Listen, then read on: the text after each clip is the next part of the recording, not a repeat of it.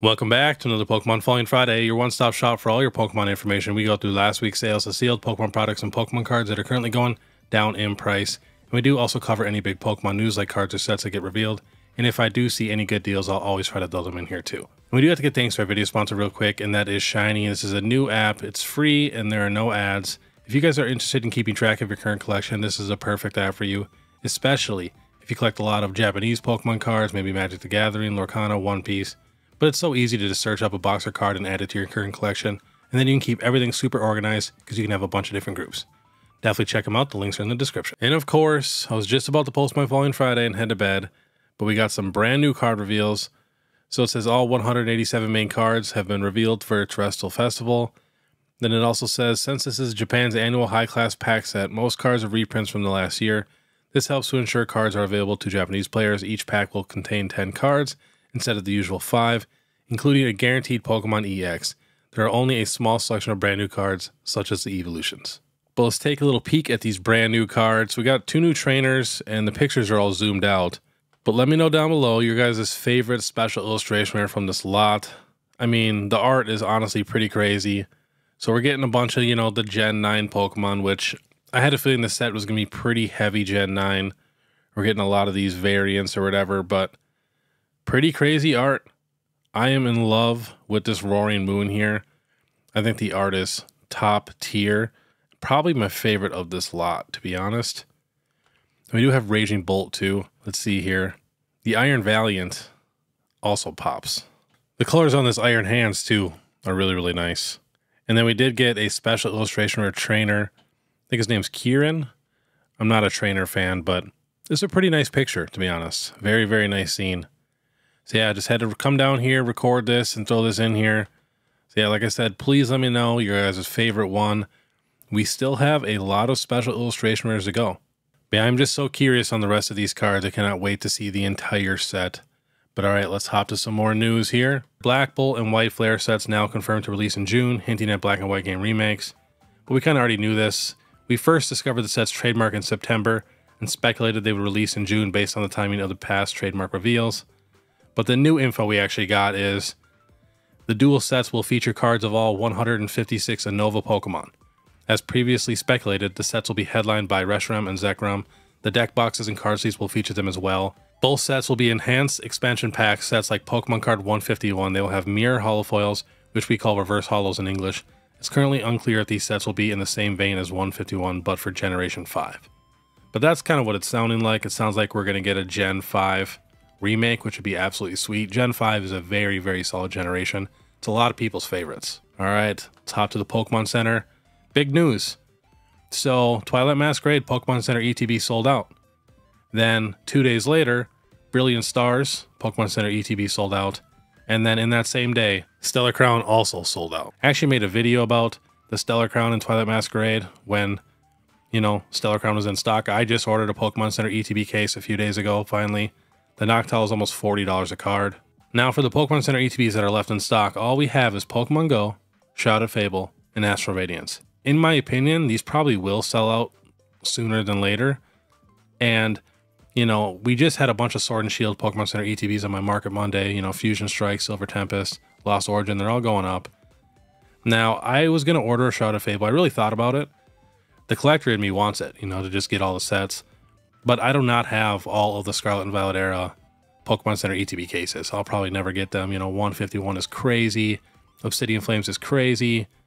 You know, I'm going to try to get a few more. You know, Paradox Rift is still cheap. I'm going to try to get those. I'm probably going to try to get a Scarlet and Violet base set one before those go too crazy. But I'll probably never be able to get all of the Scarlet and Violet sets in Pokemon Center ETB cases. So I'm just going to skip this one and just save my money for Blooming Waters 151 or for when Prismatic Evolutions comes out, because I got a ton of pre-orders we still got to pay for. So, all right, next we are on IGN. We got some Pokemon deals at Target. It's gonna be 30% off. So the thing that caught my eye here was the Terapagos EX Ultra Premium Collection for $83.99 at Target. Now that's not a terrible price. I almost want to get one for that. You know, I'm not the biggest fan of these UPCs, so I might grab one of those, but I have a feeling this box might even get a little cheaper on the secondary market, but you never know, especially with this market. They got the Charizard box for 55 bucks. Stellar Crown regular ETB for 34. They got the Paldea Friends Mini Tin 5 pack for 34.99. They got the Paldea Adventure Chest for 15.74. There's a solid promo in there. That's not a bad box. I think a lot of people are sleeping on that box. They're everywhere, but for 15 bucks, that's not bad. All right, and then we're gonna hop to GameStop here. So we still have that Blooming Waters. It says coming soon. So, you know, I'll try to let everybody know. If you guys find out, please let me know. I would just like to get a few of these. I know I'm not to go super crazy. You guys know I don't like the big collection boxes anyways. They take up so much space. They get damaged so easily. But, you know, we're getting a ton of 151 packs here. So this would be a good box to actually break down to in the future. But all right, let's hop into Falling Friday here. we got Twilight Masquerade Booster Box. Got up to $167. Now that sold 156, 154, 156, 154, 152. Bunch of 156s. Next, we got Paldea Evolved. So two of the most expensive Scarlet and Violet Era booster boxes are coming down in price. Was 145. Last sold 131, 131, 133, 129, 126. So it's definitely getting down there a little bit. Solid set. Next, we got the Terapagos EX Special Illustration Rare still falling. Was 151 on release. Just super slowly too. 76, 75, 75, 80, 78, 82, 82, 77. Next, we got the Squirtle. Got up to $52. Crazy.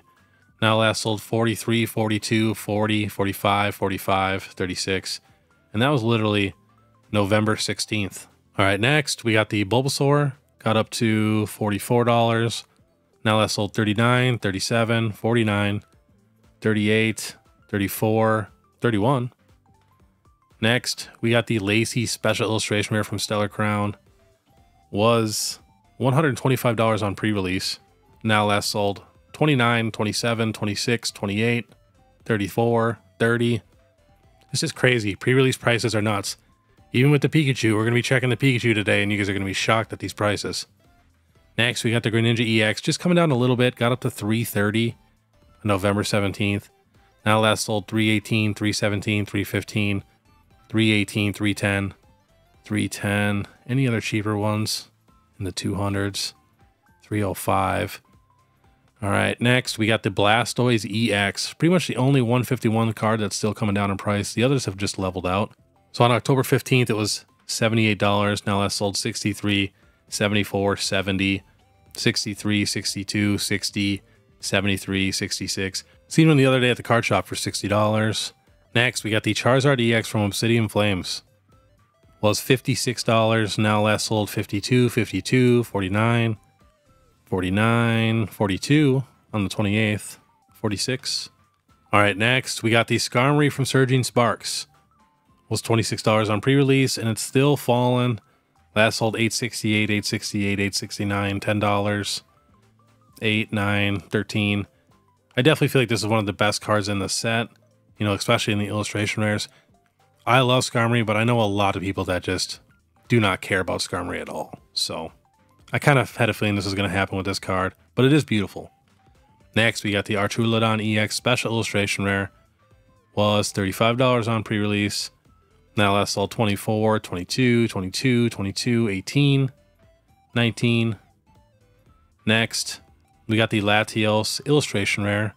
50 bucks on pre-release. Now last sold 34, 33, 34. We got a $67 sale down there. Next, we got the Alolan Exeggutor Special Illustration Rare. was $93 on pre-release. Now last sold 50, 49, 49, 53, 46. So right around a $50 card. I feel like that's an okay price for that card. I wish it was a little more, but still, that is not too bad. Hopefully it sticks around there. Next, we got the Lisia's Appeal was 160 on pre-release. Last sold 60, 68, 63, 61, 60, 60. Solid card. I do like the Altarias in there, but it's not my favorite special illustration rare trainer with a Pokemon in it by far. Like I would take any single special illustration rare from Paradox Rift with those Pokemon in there than this card right here. But then again, I care more about the art and the Pokemon than the actual trainer. I don't really care who's in the card for the trainer. I'm not the biggest trainer fan, so Next, we got the Hydreigon EX.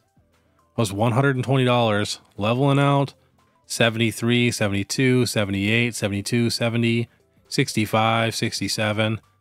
Finally seeing this card in person in English, it pops. It really, really does. Next, we got the Pikachu. So, you know, Milotic and Latias are not on this list for raw cards because they're technically going up in price. But Pikachu is definitely coming down. Was $583. Last sold 450, 494, 450, 430, 430, 420, 420, 380, 380. Someone messaged me on Instagram, offered me one for $400.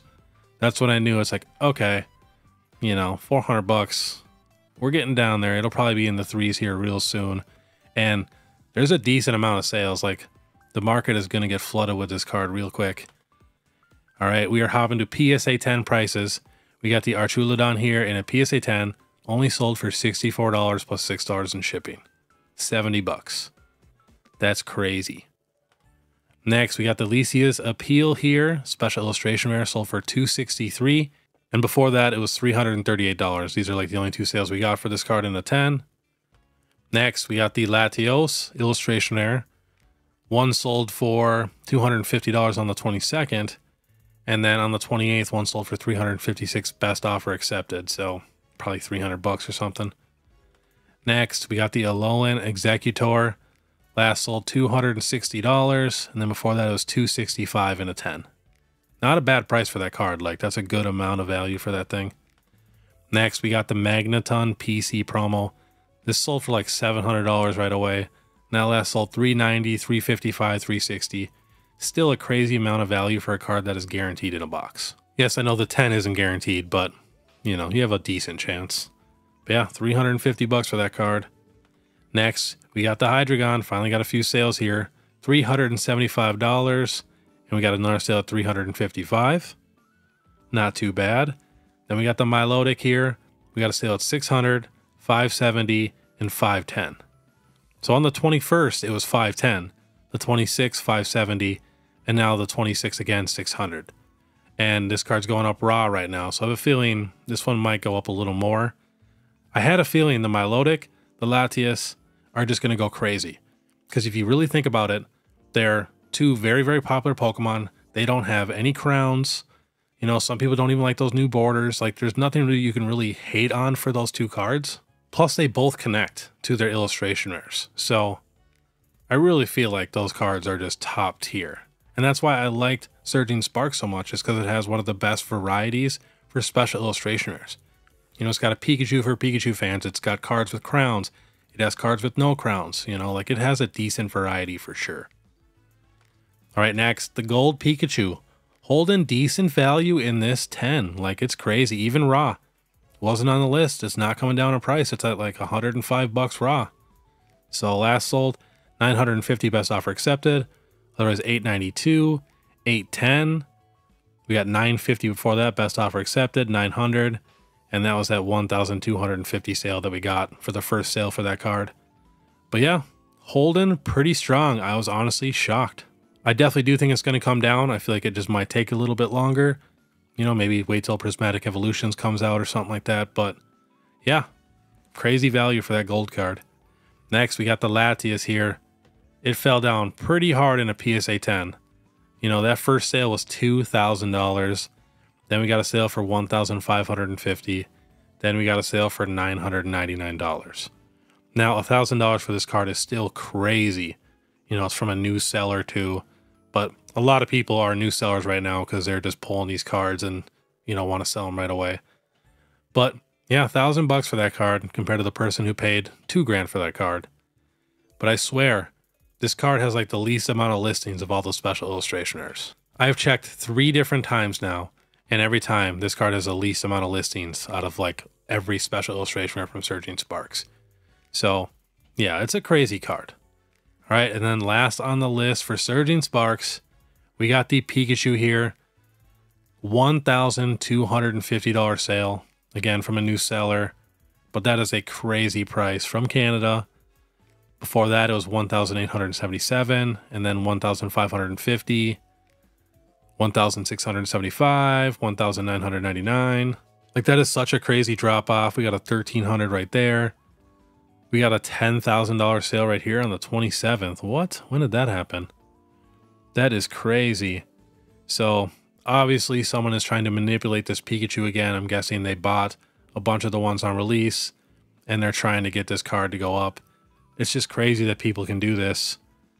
I guarantee this card did not get paid for. But yeah, the cheapest sale so far, $1,250. Pretty crazy compared to, let's go to the highest price here.